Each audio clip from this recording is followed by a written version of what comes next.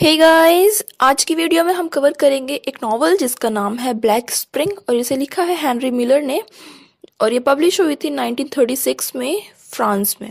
तो जो Henry Miller हैं, वो एक अमेरिकन राइटर हैं। इनकी ये सेकेंड नावल थी, इससे पहले जो नावल आई थी, उसका नाम था ट्रॉपिक ऑफ़ कैंसर उसके बाद मतलब कि आई ब्लैक स्प्रिंग और उसके नेक्स्ट में आई थी द ट्रॉपिक ऑफ़ कैप्रिकॉन तो ये तीन नावल्स आपस में ऐसे लिंक्ड हो रखी हैं। तो जो ब्लैक स्प्रिंग है मेनली ये एक ऑटोबायोग्राफिकल नॉवल है और इसमें बहुत सारी शॉर्ट स्टोरीज भी हैं। अगर मैं मेनली इसके स्ट्रक्चर की बात करूँ तो ये जो नॉवल है, इसमें टेन शॉर्ट स्टोरीज हैं जिन्हें इस बुक में कंबाइन कर रखा है, इस नॉवल में कंबाइन कर रखा है। एंड एज आई साइड की एक नॉवल है मतलब कि एक ऑटोबायोग्राफिकल नॉवल है तो इसमें कहीं ना कहीं जो हैनरी मिलर है, उनकी लाइफ के बारे में हमें पता चलेगा। तो जो मिलर है, उन्होंने इस इस पूरे नावल में अपने ही बारे में बताया है कि उनकी लाइफ कैसी थी. एज अ चाइल्ड वो क्या फील करते थे? या फिर जब वो अमेरिका में थे, तब उनकी लाइफ कैसी थी? And one more thing which is very important to the novel is कि जब ये लिखी गई थी 1932 में एंड 1933 में, उस पीरियड में जब ये लिखी गई थी, तब जो हैनरी थे, वो पेरिस में थे, ना कि अमेरिका में थे। वो पेरिस में थे, एक क्लीची में, जो एक स्पेस है, एक प्लेस है, पेरिस का फ्रांस में। वहाँ पर थे और वहाँ पर बैठकर वो अपनी अमेरिकन लाइफ को याद करते हैं, अपनी लाइफ को याद करते हैं कि वो कैसे कैसे बड़े हुए हैं। और ये जो स्टोरी है, कहीं ना कहीं हमें इसके, इसमें पता चलेगा कि हैनरी मिलर की जो मैंटेलिटी थी, जो उनके थॉट्स थे एज अ चाइल्डहुड में, वो कैसे थे और कैसे कैसे वो चेंज हुए। और मेनली उन्होंने अपना ये जो वर्क है डेडिकेट किया एनेस निन को। तो हम पहले जो इनके टेन सेक्शंस हैं, उन्हें देख लेते हैं क्या क्या नाम है। जो फ़र्स्ट पार्ट है मतलब कि जो फ़र्स्ट शॉर्ट स्टोरी है या फिर फ़र्स्ट सेक्शन बोल सकते हैं, उसका नाम है द फोर्टींथ वार्ड सेकेंड है सैटरडे आफ्टरनून थर्ड पार्ट है थर्ड और fourth day of spring fourth part है the angel is my watermark fifth है wall into the nightlife. Eighth है, walking up and down in China. Ninth है burlesque. Tenth है megalopolitan मैनेक मैनेक मतलब होता है मेनली मैडनेस मैड तो जो एवरी पार्ट जो है, ये सेक्शंस हैं, ये स्टार्ट होते हैं एक एपिग्राफ से एपिग्राफ मतलब होता है कि you are using a quotation from the another book another works like like, अगर मैं यूज़ करूँ, अगर मैं अपनी कोई नावल लिखती हूँ तो मैं शेक्सपियर की बुक में से कोई कोट उठा लेती हूँ और वो मैं अपने एपिग्राफ के तरीके से यूज़ कर लेती हूँ अपने वर्क में कोटेशन में ही।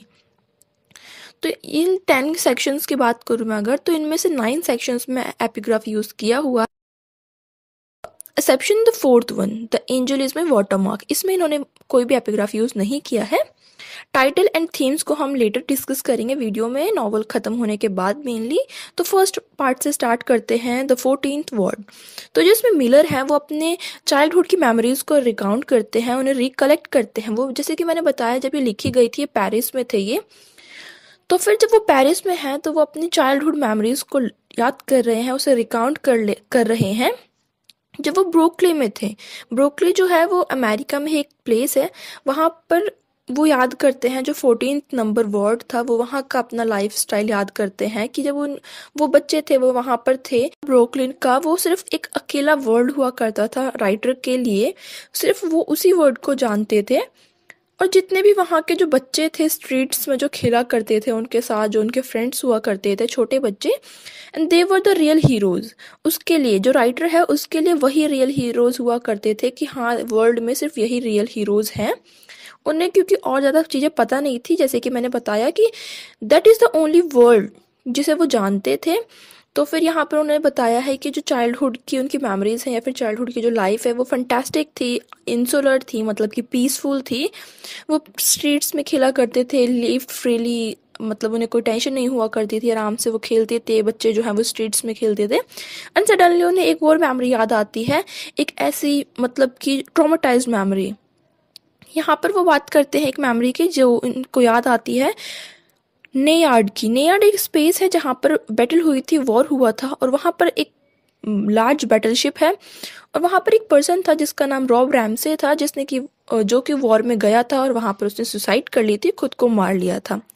तो जो मिलर है वो फ़र्स्ट सेक्शन में मेनली बताते हैं कि जो चाइल्डहुड है वो बहुत ज़्यादा इनोसेंट होता है प्योर होता है।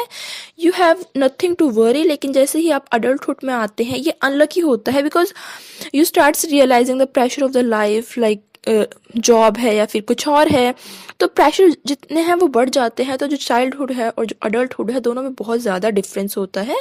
And nothing can be like the childhood time period so mainly यहाँ पर बात करते हैं चाइल्डहुड की इम्पोर्टेंस को बताते हैं। सेकेंड पार्ट है, उसमें, उसका नाम है अ सैटरडे आफ्टरनून तो इस पार्ट में जो मिलर है, वो बताते हैं कि वो जो पेरिस में बैठे हैं तो वो बहुत ज़्यादा कनेक्टेड फील करते हैं कहीं ना कहीं पेरिस से। वो कहते हैं कि अमेरिका से ज़्यादा वो पेरिस को अपना होम समझते हैं। अमेरिका से ज़्यादा वो यहाँ पर कंफर्टेबल हैं। वो बताते हैं कि उन्हें बाइक राइड करना बहुत ज़्यादा पसंद है सिटी के अराउंड में घूमना पसंद है, लोगों से मिलना पसंद है और वो कहते हैं कि ये जो सिटी का एरिया है वो उन्हें बहुत ज़्यादा पसंद आता है और एक चीज़ है जो उन्हें सबसे ज़्यादा पसंद आती है यहाँ की पेरिस की, वो है यूरिनल मतलब कि जो वॉशरूम्स होते हैं पब्लिक वॉशरूम होते हैं, उसकी कंडीशन उसकी जो मेंटेनेंस है उन्हें बहुत ज़्यादा फैसिनेट करती है। नेक्स्ट वो बताते हैं जो मिलर हैं कि उनकी, उन्होंने जो बुक पढ़ी है रॉबिन्सन क्रूशो जो रॉबिन्सन क्रूसो है, वो डैनल डेफो की नावल है। तो जो मिलर के थॉट्स हैं, वो कहीं ना कहीं इस नावल में जो थॉट्स दिखाए गए हैं, बिल्कुल वैसे ही लगते हैं। जैसे कि रॉबिन्सन क्रूसो में बताया गया है कि जो लाइफ है, वो कैसे थी फ्रेगमेंटेशन से पहले? मतलब कि जैसे हम लोग आजकल बिखर गए हैं तो उससे पहले लाइफ हमारी कैसी थी? जब ये मॉडर्निटी हमें मिली, उससे पहले हमारी लाइफ कैसी थी तो कहीं ना कहीं उस बुक के थॉट मतलब कि रॉबिन्सन क्रूजो में जो लिखा है, उसके थॉट और जो मिलर के थॉट्स हैं आपस में कहीं ना कहीं सिमिलैरिटीज़ को दिखाते हैं। तो जो मिलर है, वो कहते हैं कि जो मैन है दे कांट बी हैप्पी अब वो पहले की तरह हैप्पी नहीं हो सकते हैं जैसे वो पहले थे क्योंकि आप बहुत सारी प्रॉब्लम्स आ गई हैं। जैसे कि उन्होंने बताया है कैंसर है फ्लेस सिफिलिस है या फिर प्रेशर ऑफ़ द लाइफ है तो ये सारी जो चीज़ें हैं वो इंसान को कभी भी हैप्पी नहीं रहने देंगी and the man can never be the happy person so जो राइटर हैं वो मेनली यहाँ पर यही बताते हैं कि जो चाइल्डहुड है मेनली वो सबसे ज़्यादा अच्छा एरिया होता है। वहाँ पर जो जस्ट ऑफ़ लाइफ है जो रियलिटी uh, होती है वो बहुत ज़्यादा प्योर होती है। जो थर्ड सेक्शन है, वो स्टार्ट होता है थर्ड सेक्शन के नाम से ही third and fourth day of spring तो इसमें जो मिलर हैं, वो बताते हैं कि जब वो पेरिस में हैं, क्योंकि जब वो लिख रहे थे, तब वो पेरिस में थे। वो कहते हैं, वो पेरिस में हैं, लेकिन उनकी जो सेंस है, वो स्ट्रीम ऑफ़ कॉन्शियसनेस है। स्ट्रीम ऑफ़ कॉन्शियसनेस होता है कि आप प्रेजेंट में नहीं होते हैं, आप पास्ट में होते हैं मेनली आपकी जो मेमोरीज हैं, आप उसको सोच रहे होते हैं।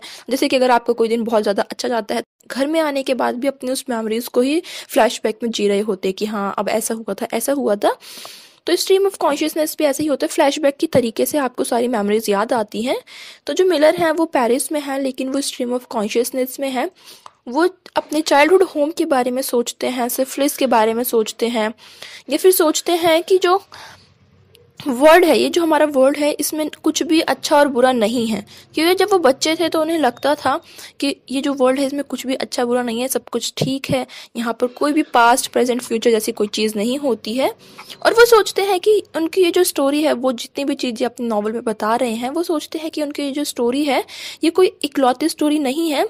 बल्कि ये बहुत सारी जो लोगों की स्टोरियाँ हैं, जो बहुत सारे लोगों ने जिया है, उनमें से एक छोटी सी स्टोरी है, एक उन्हीं में से एक स्टोरी का पार्ट है। और वो सडनली से मैड फील करने लग जाते हैं। ऐसे हो जाते हैं कि उन्हें वहाँ से निकलना है और वो चाहते हैं कि वो अमेरिका से बाहर निकल जाए। जैसे मैंने कहा कि ये स्ट्रीम ऑफ़ कॉन्शियसनेस में थे और वो अपनी चाइल्डहुड मेमोरीज को याद कर रहे हैं मेनली तो फिर वहाँ पर उन्हें लगता है कि वो अमेरिका में बैठे हैं, पर ऐसा है नहीं। वो तो स्ट्रीम ऑफ़ कॉन्शियसनेस में थे, वो तो पेरिस में बैठे हैं। तो जो फोर्थ सेक्शन है the angel is my watermark इसमें मेनली वो बताएँगे अपने प्रोसेस के बारे में, जब उन्होंने एक मास्टर पीस को पेंट किया था उसके बारे में। तो जो मिलर हैं, इस सेक्शन में एक्सप्लेन करते हैं अपने प्रोसेस को कि कैसे उन्होंने अपना मास्टरपीस बनाया था। वो बताते हैं कि एक दिन उन्होंने बहुत सारे आर्ट म्यूज़ियम में विज़िट करी, बहुत बहुत सारी म्यूज़ियम में घूमने गए और उसके बाद जब वो घर पर आए तो उन्होंने अपना टाइपराइटर निकाला। उनको इतना ज़्यादा इंस्पिरेशन मिल रहा था, ऐसा लग रहा था कि उनके पास बहुत सारे आइडियाज़ हैं। बहुत सारे आइडियाज़ जो हैं वो फ्लड हो रहे हैं उनके माइंड में और कोई ऐसी एक्सटर्नल पावर है जो उन्हें फोर्स कर रही है कि वो लिखें वो इतने ज़्यादा एनर्जेटिक हो गए थे। And he wrote pages after pages उन्होंने बहुत सारे पेजेस लिखे, एक पेज के बाद दूसरा, फिर तीसरा, फिर चौथा, ऐसे लगातार वो लिखते गए लिखते गए। फिर उन्होंने खाना भी नहीं खाया था इस बीच में। एंड फिर बाद में उन्होंने थोड़ा सा ब्रेक लिया खाने के लिए, पीने के लिए। और उसके बाद जब उन्होंने खाना खाया तो वो खाना उनकी जो एनर्जी थी, उसे कम नहीं कर पाई, बल्कि वो एज अ फ्यूल का काम किया उसने उनके क्रिएटिव फोर्स में। जैसे कि हम किसी चीज़ में कोई इंजन है, उसमें फ्यूल डाल देते हैं तो वो और तेज़ हो जाती है। तो वैसे ही जो उनकी एनर्जेटिक फोर्स थी, जो क्रिएटिविटी थी, खाना खा के वो और ज़्यादा बढ़ गई। और उन्होंने और भी कुछ पेजेस लिखे, लेकिन फिर एक टाइम ऐसा आया जब उन्होंने लग, उन्हें लगा, उन्हें रियलाइज़ हुआ कि वो लिखना नहीं चाहते थे। वो तो कुछ ना कुछ पेंट करना चाहते थे। लिख तो वो पता नहीं क्यों रहे हैं, लेकिन उन्हें कुछ पेंट करना था और सडनली फिर वो अपनी एक बुक उठाते हैं पेंटिंग बुक उसमें देखते हैं कि एक इंसेन असाइलम की फ़ोटो बनी है। इंसेन मतलब कि पागल खाना जो होता है, पागल। तो एक पागल खाने की फ़ोटो बनी है पेंटिंग बनी है और वो उसे बहुत एडमायर करते हैं जिसने उसे बनाया होगा। वो इतनी ज़्यादा खूबसूरत थी। पहले वो सोचते हैं कि वो सिंपली उस चीज़ को कॉपी करके बनाएँ, लेकिन फिर वो सोचते हैं कि अगर वो ऐसा करेंगे तो that is a worst kind of plagiarism mainly तो वो डिसाइड करते हैं कि वो एक हॉर्स से स्टार्ट करेंगे। उन्होंने सोचा वो कुछ अलग बनाएँगे तो उन्होंने एक पहले एक हॉर्स बनाया। उसके हर एक पार्ट्स अलग अलग तरीके से परफेक्ट तरीके से बनाए। उसके बाद उन्होंने बहुत सारी चीज़ें बनाई, जैसे कि जैसे कि उन्होंने माउंटेन बनाया, उन्होंने वॉल कैनो बनाया सिमेट्री बनाई एंजल भी बनाई, और फिर उसमें उन्होंने कलर किया और उसे फिर जब उन्होंने वॉश किया अपने पेंटिंग को स्क्रब किया, उसके बाद उसे अपने फ्लैट पर लिटा दिया, नीचे फ्लैट रख दिया तो उसके बाद उन्होंने जब वो देखा, वो इतनी फिनिश्ड तरीके से बनी थी, इतनी सुंदर थी कि उन्होंने उसे नाम दिया कि वो जो पेंटिंग है he claims the angel is my watermark उन्होंने उसको नाम दे दिया the angel is my watermark next section है जो सेक्शन नंबर फाइव है, उसका नाम है द टेलर शॉप और इस सेक्शन में मेनली जो मिलर हैं, वो अपने फादर के बारे में बताएँगे। उनका पूरा फोकस है उनके फादर के बारे में रिकाउंट करने का। तो उस तो जो उनके फादर हैं, उसको उन्होंने बोला है द ओल्ड मैन इसमें उनका पूरा फोकस उन्हीं पर रहेगा। तो वो बताते हैं कि जो उसके फादर थे, वो एक टेलर शॉप पे वर्क किया करते थे। उसके फादर को ड्रिंकिंग एंड ईटिंग का जो वर्क होता है, बहुत ज़्यादा पसंद था। और वो जब ब्रेक होता था बीच बीच में, ये खाने पीने के लिए चले जाया करते थे। अब यहाँ पर जो मिलर है, वो बताते हैं कि उनके बहुत सारे फ्रेंड्स थे। मतलब कि मिलर के बहुत सारे फ्रेंड्स थे। कुछ उनमें से पास्ट अवे बहुत सारे जो हैं वो चले गए। कुछ हैं जिन्हें जीसस मिल गए, कुछ ऐसे हैं जो फ़ेमस हो गए।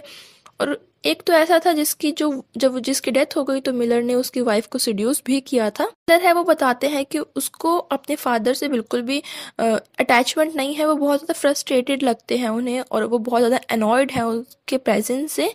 और मिलर जो है वो बताते हैं कि जो उनकी मदर है, वो भी अनॉयड है उनके लिए, उनकी कंपनी भी मिलर को पसंद नहीं है। मिलर की जो मैरिज थी अर्ली ट्वेंटीज़ एज में उनकी हो गई थी और उन्होंने इस चीज़ को देखा फाउंड किया कि जो उनकी वाइफ है, वो भी उनके पेरेंट्स की तरह ही अनोइंग है। वो उन, अपनी वाइफ को भी पसंद नहीं करते हैं।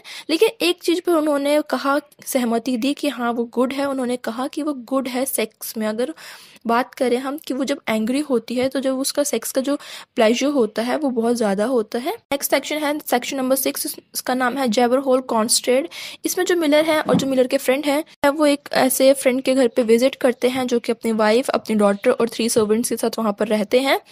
तो वो जो उनका घर है, वो और जो उनकी पर्सनैलिटी है, बहुत ज़्यादा चार्मिंग लगती है उन्हें और वो बहुत ज़्यादा टॉकेटिव पर्सन है, जिसके घर पर वो जाते हैं। तो जो मिलर है, वो बताते हैं कि जो पर्सन है, वो बहुत ज़्यादा टॉकेटिव है, बहुत सारी चीज़ों के बारे में बात करता है न्यूमरस थिंग्स के बारे में बात करता है, जैसे कि पोइट्री है या फिर रियल इस्टेट्स है, इनके बारे में। नेक्स्ट सेक्शन है सेक्शन नंबर सेवन इसमें इसका नाम है into the night life इसमें जो मिलर हैं, वो एक ड्रीमी चीज़ को बताते हैं, एक ड्रीम को बताते हैं। उन्होंने बहुत सारी चीज़ों को बताया जो कि आपस में बिल्कुल भी लिंक नहीं करती हैं। जैसे कि उन्होंने मेसमराइजिंग सीन बताया है एक सिटी का नेचर का सेक्स का डेथ या फिर मीनिंगलेस पीस तो ये सारी चीज़ें कहीं भी आपस में कनेक्ट नहीं होती हैं लिंकअप नहीं करती हैं। क्योंकि जैसे कि स्टार्टिंग में ही बता दिया इन्होंने अपने रिकाउंट्स के, अपनी ड्रीमी लाइफ को, कि उन्होंने क्या क्या सपने देखे हैं या फिर जो भी उनकी थाट्स हैं तो जो कि आपस में कनेक्ट नहीं होती हैं लिंकअप नहीं करती हैं।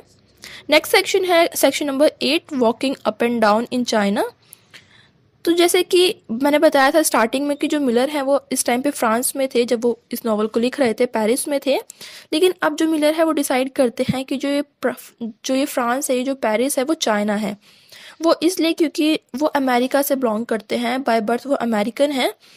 तो जैसे कि फ्रांस और पेरिस उनके लिए एक फॉरनर लैंड है फॉरनर एरिया है, उसी तरीके से चाइना भी एक फॉरन लैंड है तो कोई फ़र्क नहीं पड़ता है अगर वो फ्रांस को चाइना बोलते हैं चाइना को फ्रांस बोलते हैं। अब यहाँ पर वो अपनी कुछ मेमोरीज को बताते हैं, कुछ थॉट्स को बताते हैं। था एक डेड मैन के साथ देखा था उसे स्ट्रीट में। कभी उन्होंने फ्रेगमेंटेशन देखे थे आइडेंटिटी की, कभी प्लैग देखा था। कभी जो, उन्होंने देखा कि जो ओल्ड लाइफ है ब्रुकली की, वो कैसी थी। तो कहते हैं कि जो वॉर है अनदर वॉर है, वो अपने होराइजन पे है, वो आने ही वाला है। जितने भी बॉयज़ थे, जितने भी बॉयज़ को वो जानते थे, उनके जो ब्रेन है, वो सडनली ब्लोन आउट हो गए हैं। मतलब बहुत ज़्यादा तेज़ी से चलने लग गए हैं। नेक्स्ट सेक्शन है मतलब कि सेक्शन नंबर नाइन इसका नाम है बर्लेस्क बर्लेस्क में मेनली इन्होंने बताया है, एक सीरीज़ बताई है अपनी मेमोरीज़ की, कि वो कैसे जो एरिया थे, गलियाँ थी, वहाँ से घूमा करते थे, या फिर जो चर्च सर्विस थी, वहाँ जाते थे।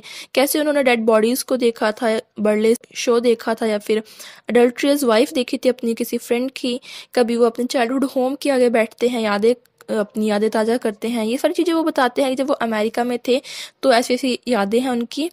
तो वो कहते हैं जो अमेरिका है, अमेरिका एक ग्रेट प्लेस है उन लोगों के लिए, उन पर्सनस के लिए जो चाहते हैं, जो कुछ बनना चाहते हैं। नेक्स्ट सेक्शन है सेक्शन नंबर टेन जिसका नाम है मैगलोपॉलिटियन मैनिक मैनिक होता है मेनली मैडनेस या फिर पागल। तो यहाँ पर जो मिलर है, वो पेंट करते हैं। ऐसी पिक्चर को जहाँ पर नॉइजी वाइब्रेंट सिटी है क्राउडेड एरिया है नेचर जो है वो डिफाइंग है, या फिर डेनाइजर है। तो ऐसी ऐसी चीज़ों को पेंट करते हैं, ऐसी पिक्चर को विविट करते हैं, बताते हैं पेंट करते हैं। और वो यहाँ पर सटारिकल वे में बोलते हैं कि जो ह्यूमैनिटी है, उसने बहुत सारी चीज़ों को अचीव कर लिया है। क्योंकि उसकी जो एबिलिटी है, एक बटन को पुश करके मिलियंस को मारने की, वो बहुत ज़्यादा अचीवर है, उनके लिए एक ग्रेट अचीवमेंट है। यहाँ पर मेनली वो सटायर दिखा रहे हैं सटायर कर रहे हैं उन लोगों पर कि जो ह्यूमैनिटी हमारे टाइम पे ख़त्म हो गई है, जो मॉडर्निटी आई है, उसके बाद जो ह्यूमैनिटी ख़त्म हो गई है, कि एक बटन से ही, जैसे वॉर टाइम होता है, कि एक बटन से ही हम मिलियंस को मार सकते हैं, क्योंकि जो लोगों कहते हैं ह्यूमैनिटी है, वो ख़त्म हो गई है। तो यहाँ पर वो उसी को अचीवमेंट बोल रहे हैं मतलब कि एक सटायर यूज़ किया गया है। और यहाँ पर जो मिलर है वो चाहते हैं सिंपली कहीं पर शांति में बैठना चाहते हैं मेडिटेट करना चाहते हैं अपनी ही एसेंस में अपनी एसेंस होता है अपनी पूरी सेंसेस के साथ जैसे कि आप अपनी बॉडी को फील करें अपनी सेंसेस को फील करें तो वो बैठना चाहते हैं मेडिटेट करना चाहते हैं ए, और पीसफुल एरिया चाहते हैं ताकि वो वहाँ पर बैठ सकें। तो यहाँ पर जो नॉवल की समरी है वो ख़त्म होती है। तो मेनली अगर हम टाइटल की बात करें जो है कि ब्लैक स्प्रिंग जो टाइटल है, वो सजेस्ट करता है, ये एक मेटाफर है, जो वर्ड्स ब्लाइट है, जो वर्ल्ड की कंडीशन है, उसके लिए सजेस्ट करता है कि जो एरिया है हमारा या फिर जो हमारी मॉडर्निटी है, वो किस तरीके से ब्लैक स्प्रिंग लेकर आई है। लोग आपस में ह्यूमैनिटी नहीं है लोगों के अंदर। और अगर मैं थीम की बात करूँ तो इसमें यूनिवर्सल डेथ और डार्क रिजनरेशन की बात करी गई है। या फिर जो ह्यूमैनिटी है, वो कैसे ब्लैक स्प्रिंग सीज़न में कॉट हो गई है, फंस गई है, और जो पूरा वर्ल्ड है, वो एक तरीके से डिज़ीज़ हो गया है उसे बीमारी लग गई है। और यहाँ पर ये वीडियो खत्म होती है। I really hope that you like the video and if you like the video then make sure that you hit the like button and do subscribe my channel thank you